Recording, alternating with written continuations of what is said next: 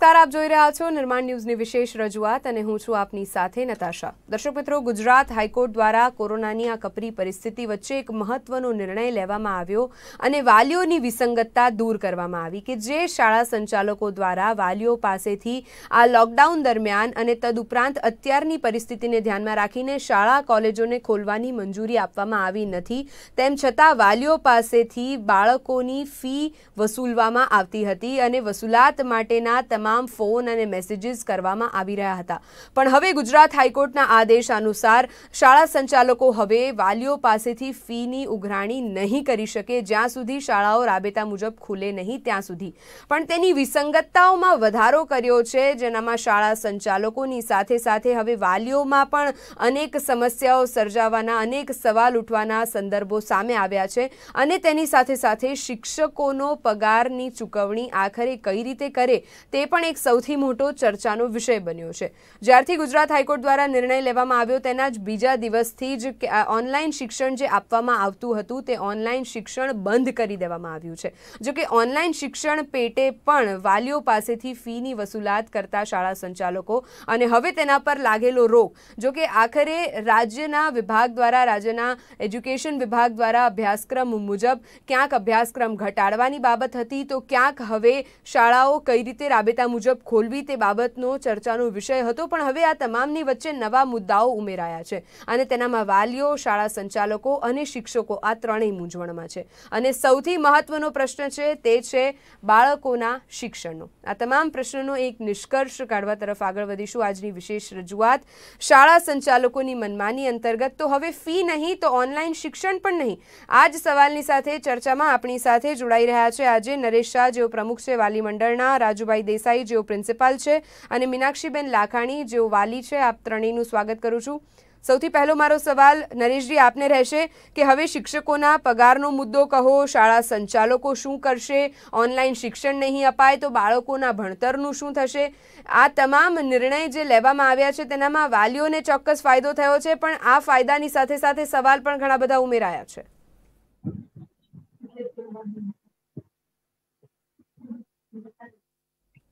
જી ચોક્કસ કોરોનાની મહામારી વચ્ચે છેલ્લા ત્રણ મહિનાથી વાલીઓ જજુમી રહ્યા હતા, જેને ધંધો રોજગાર રહેતો, લોકોની નોકરીઓ ગઈ હતી.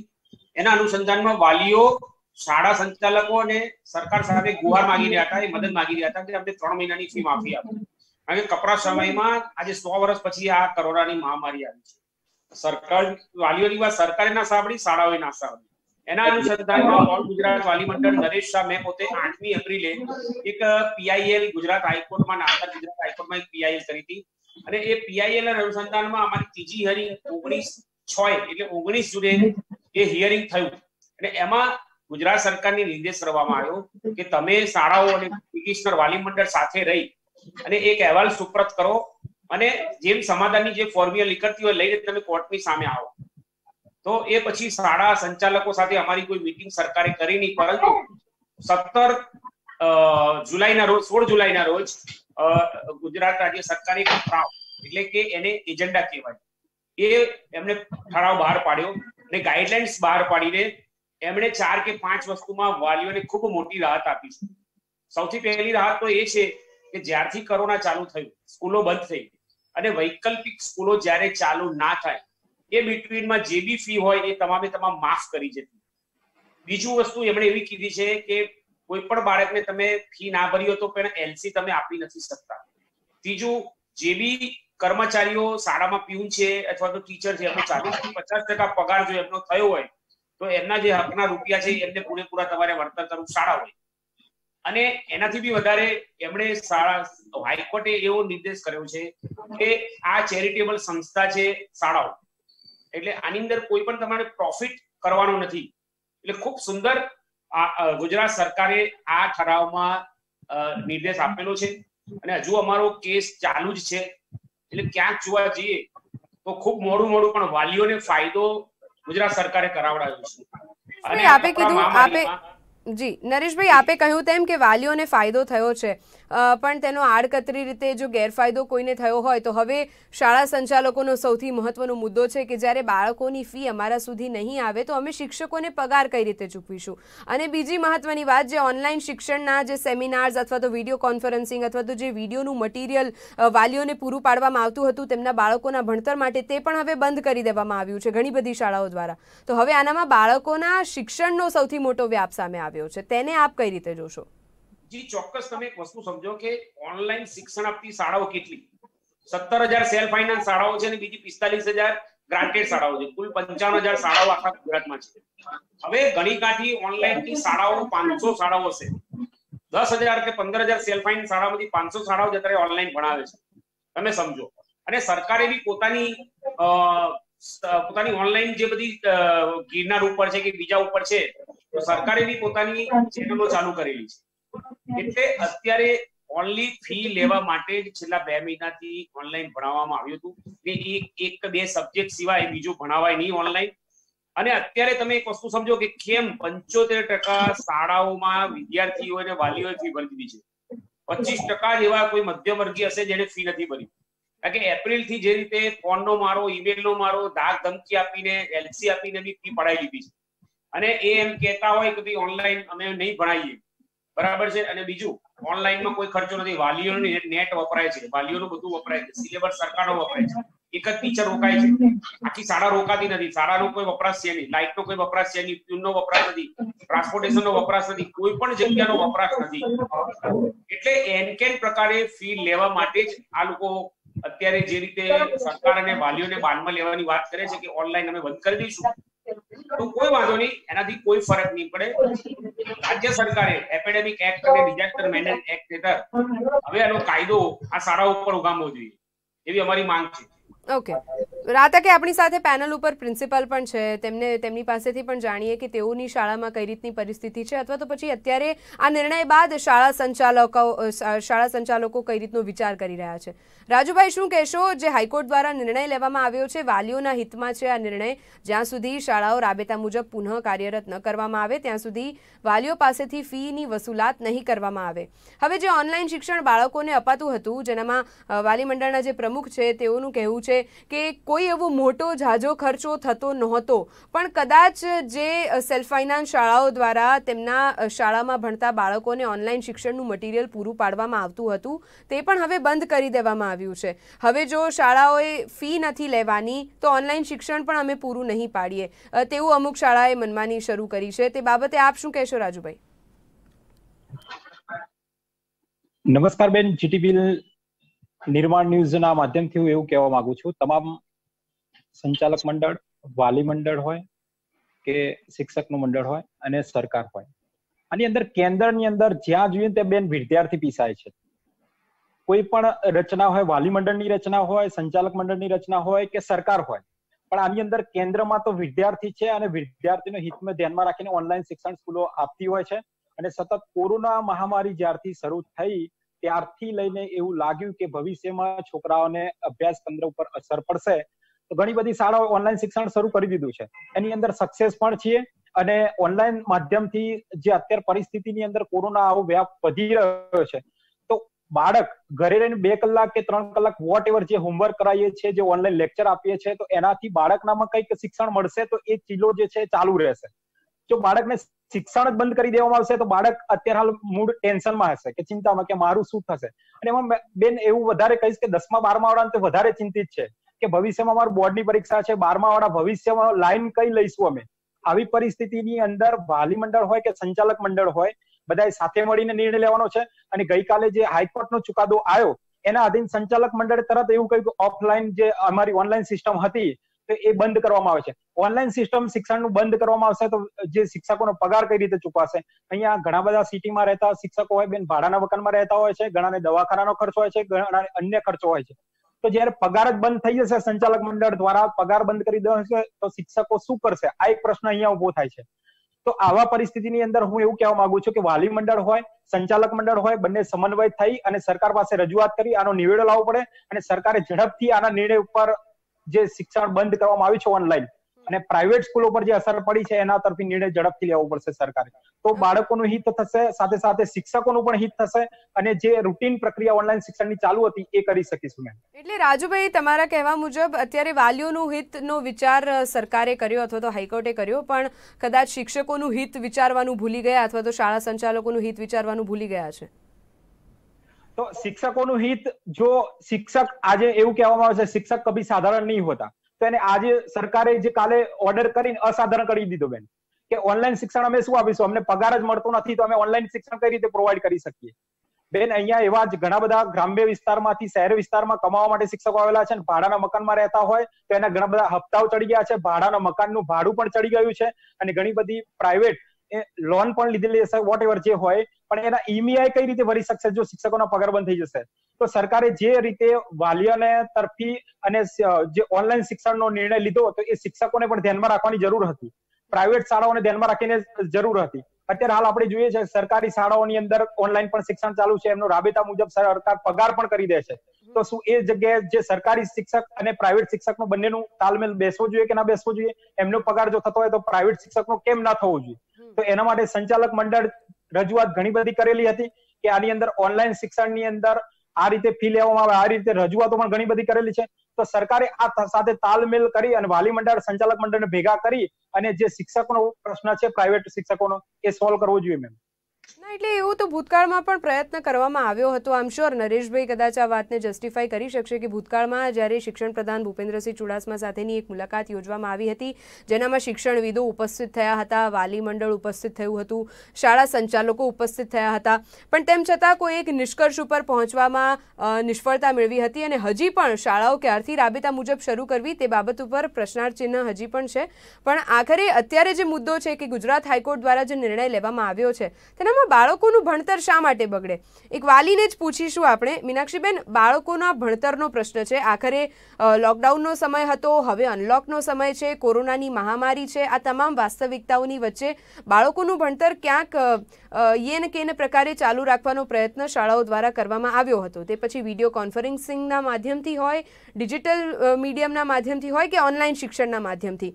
પણ હવે જે આ નિર્ણય લેવામાં આવ્યો છે, તેનાથી મોટાભાગની જે શાળાઓ ઓનલાઈન શિક્ષણ પૂરી પાડતી હતી, તે શાળાઓએ પણ હવે ઓનલાઈન ક્લાસીસ લેવાનું બંધ કરી દીધું છે.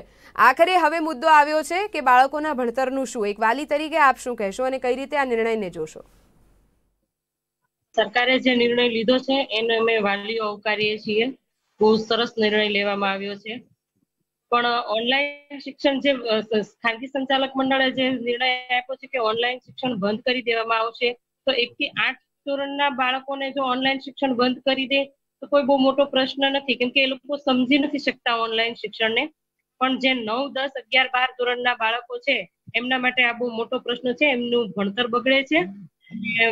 ઓનલાઈન શિક્ષણ તો આ નવથી બાર ના વિદ્યાર્થીઓને શરૂ રહેવું જોઈએ.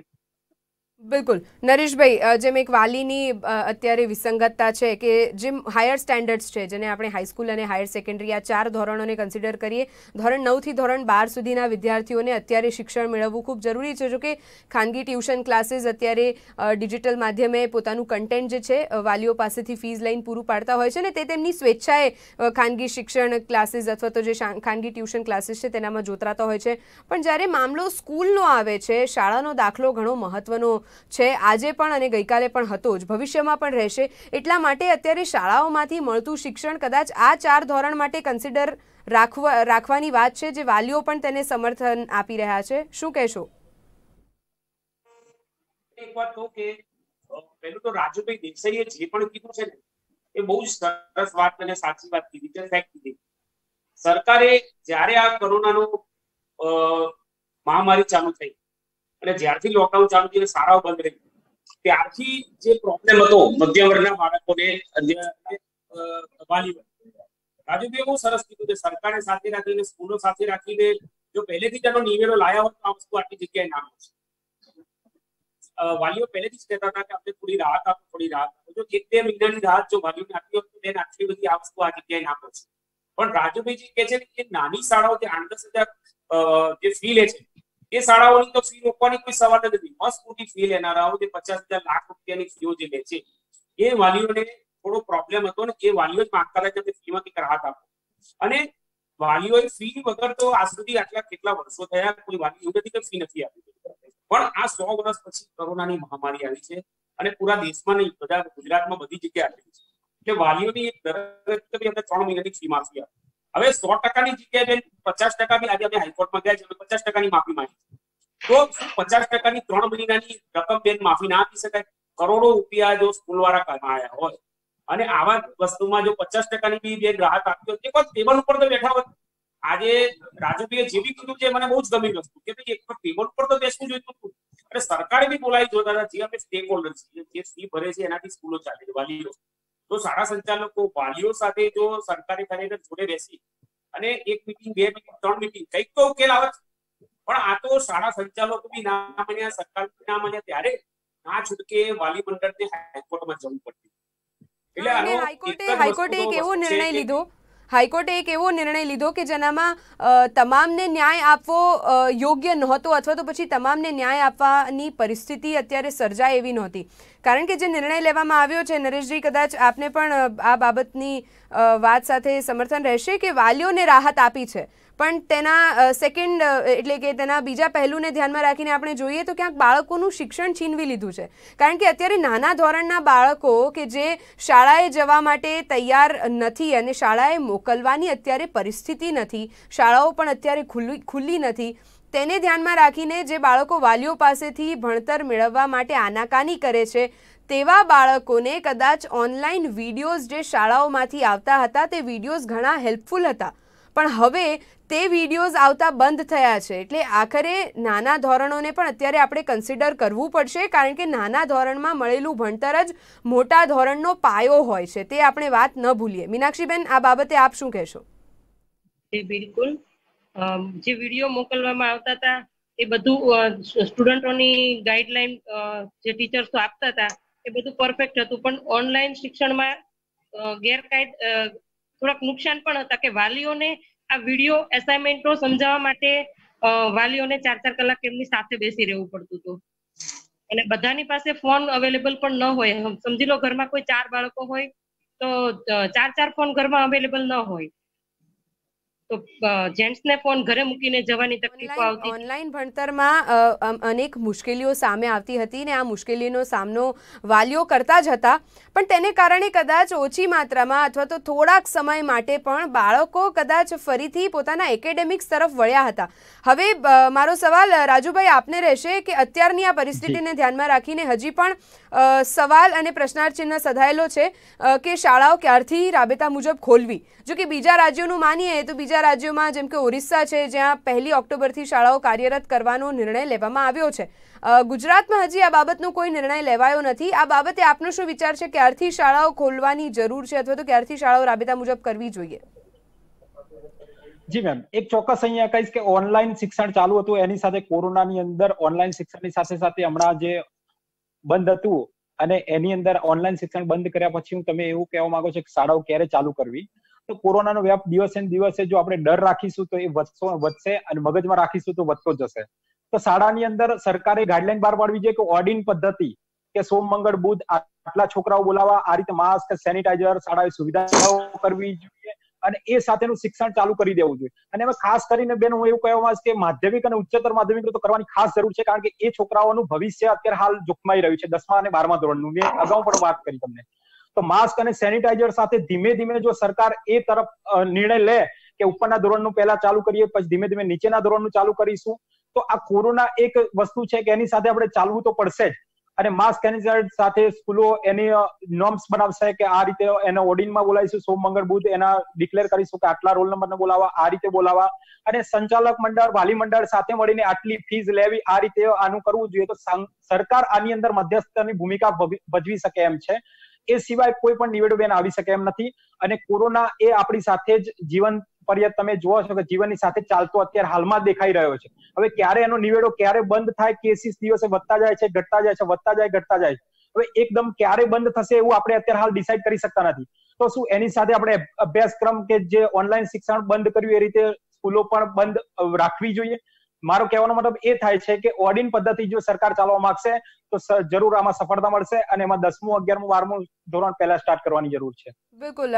નરેશભાઈ હવે સરકાર આ બાબતે કોઈ મધ્યસ્થી કરે અને વહેલામાં વહેલી તકે જે નિર્ણયો લેવામાં આવે છે, તેનામાં વાલીઓનું હિત બાળકોના શિક્ષણ માટેનું હિત અને શિક્ષકોનું હિત પણ વિચારમાં રાખવામાં આવે. કારણ કે અત્યારે પ્રાથમિકતાની દ્રષ્ટિએ આપણે જોઈએ તો એક તરફ એક મેડિકલ ઇમરજન્સીની પરિસ્થિતિમાંથી આપણે સૌ પસાર થઈ રહ્યા છે. ભારત દેશ વૈશ્વિક રીતે ઘણા બધા દેશો આ પરિસ્થિતિમાંથી પસાર થઈ રહ્યા છે. બીજી તરફ છે બાળકોના ભવિષ્યનો પ્રશ્ન, એટલે કે બાળકોના ભણતરની ચિંતા. અને તેનામાં વાલીઓ પણ આવી ગયા. હવે શિક્ષકોનું વિચારીએ તો શિક્ષકો પોતાનું ગુજરાન કઈ રીતે ચલાવશે? જો કે સેલ્ફ ફાઇનાન્સ શાળાઓની જે આપણે વાત કરી રહ્યા છે, તેનામાં બધાનો પે સ્કેલ એક જેવો રહેતો નથી.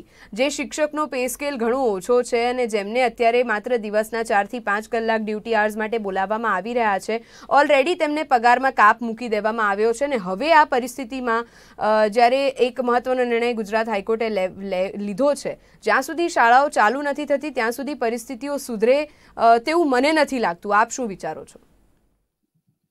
બેન, એક વસ્તુ છે કે હવે હાઈકોર્ટમાં મુદ્દો છે. રાજ્ય સરકારે તાત્કાલિક સબમિશન કોર્ટમાં શાળાઓ સાથે સમાધાન કરી અને આ કોર્ટમાં સમાધાન થાય તો હું માનું છું કે કાયમની આને ઉકેલ આવે. કારણ કે આમાં શાળાઓ, ટીચરો, પ્યુન, વાલીઓ, સરકાર, આ બધા ત્રિભેટે ઊભા છે. હવે ક્યાંક ને ક્યાંક કોકને તો અસંતોષ થશે એ અસંતોષ નિવારવા માટે હાલ આપણે હાઈકોર્ટમાં ગયા છીએ. કેન્દ્ર સરકાર કેન્દ્ર સરકાર તથા રાજ્ય સરકારે જો કરવું હોત, તો એમને પહેલા કરી દીધું હોત. હાઈકોર્ટ ગયા પહેલા. હવે આપણે હાઈકોર્ટ ગયા છીએ તો આનો રસ્તો એક જ છે કે શાળા સંચાલકોની વાલી મંડળ સાથે બેસીને, સરકાર સાથે બેસી અને સુખરૂપ રૂપે અને કેવી રીતે નિવેડો આવે કેવી રીતે ફરીથી ફી ચાલુ થાય, કેવી રીતે કેટલી રાહત આપવી. અને શાળા વગર, વાલી વગર તો શાળા અધૂરી છે. અને એ વાલીઓ બી અધૂરા છે શાળાના ટીચરો અધૂરા છે પ્રિન્સિપલો ટ્રસ્ટીઓ બધું અધૂરું છે. એક પીકના રૂપમાં આપણે કાકને બંધાયેલા છીએ. તો એવું ના થાય કે ભૂતકાળમાં કે થયેલું કે ભવિષ્યમાં થઈ, થાય કે ભાઈ વાલીઓ અને શાળાઓના સંબંધો બગડે. એટલે ક્યાંય કોઈ શાળા સંચાલક કે એવું કોઈ ગેરવર્તન ના કરવું જોઈએ, કોઈ એલસી ના આપવું જોઈએ કે કોઈ બાળકને હર્ટ થાય, તો ફી માટે કોઈ વાલીને એવી રીતે કોઈ એમને હથિયાર ના ઉગમવું જોઈએ કે જેથી સંઘર્ષ થાય, ઘર્ષણ થાય. ફી વગર આટલા વર્ષો થયા હું હજુ ફરીથી કહું છું કે ફી વગર કોઈ પણ વાલી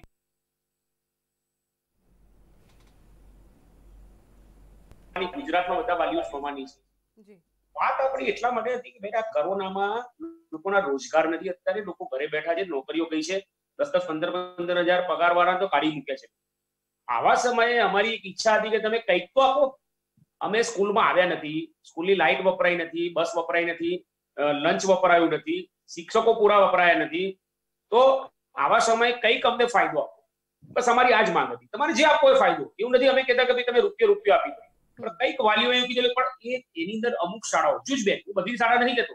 બેન, એવી ઘણી શાળાઓ છે જેને ફી માફી કરી છે. હું એમને તમારા વતી ધન્યવાદ આપું છું એવી શાળાઓ કે જેને ભામાસા તરીકે આ શિક્ષણમાં માં સરસ્વતીની એમણે પોતે સરસ એમને મજાનું એમને આશીર્વાદ લઈ લીધા. પણ મસ્ત મોટી શાળાઓએ થોડી જોવાની જરૂર હજુ ક્યાંય વહી નથી કહ્યું સરકાર જોડે બેસી અને સરકાર કોઈ શસ્ત્ર ઉગામે અને છેવટે એમને નમવું પડે એના કરતર અત્યારે શાળાના વાલી મંડળો સાથે બેસીને કંઈક સમાધાન આવશે સો ટકા આવશે. હું કઉ છું. અને એ સમાધાન આપણે કોર્ટમાં કરી લેવું જોઈએ અને ફરીથી રાબેતા મુજબ સ્કૂલો ચાલુ થાય અને એ વ્યવહાર બાળકો સાથેનો થાય. કારણ કે બાળકના મનમાં જો એક વખત ઘૂસી જશે કે ભાઈ શાળા પ્રત્યે મારી શાળા મને આવું કરે છે કે એલસી આપે છે તો આજીવન જ્યાં સુધી એ મોટો થશે અને જ્યાં સુધી જીવશે ત્યાં સુધી બેન એને દિલમાં એક થવાનું કે મારી શાળાએ મને આવું વ્યવહાર કર્યો હતો એ ના થવું જોઈએ. એટલે મારી વિનંતી તમામ શાળા સંચાલકોને છે કે કોઈ પણ સંઘર્ષમાં ઉતર્યા વગર તમે ઓનલાઈન એકદમ શસ્ત્ર બીડવી લીધું અમે ઓનલાઈન નહીં ભણાવીએ આ ખોટું છે પરસ્પર બિલકુલ. પરસ્પર વિચાર કરીને એક ફ્રૂટફુલ નિર્ણય લેવાની જરૂર છે અને આપણે આશા રાખીએ કે નજીકના જ ભવિષ્યમાં આ નિર્ણય લેવાય જેથી કરીને બાળકોના ભણતર ઉપર તેની કોઈ વિપરીત અસર ન પડે. જો કે નિર્ણય લેવામાં આવ્યો છે, હાલ વાલીઓ ખુશ છે, પણ ક્યાંક શિક્ષકો મૂંઝવણમાં છે કે હવે શાળા સંચાલકો દ્વારા અમારો પગાર રોકી લેવાશે તો અમારા ઘરનું ગુજરાન કઈ રીતે ચાલશે?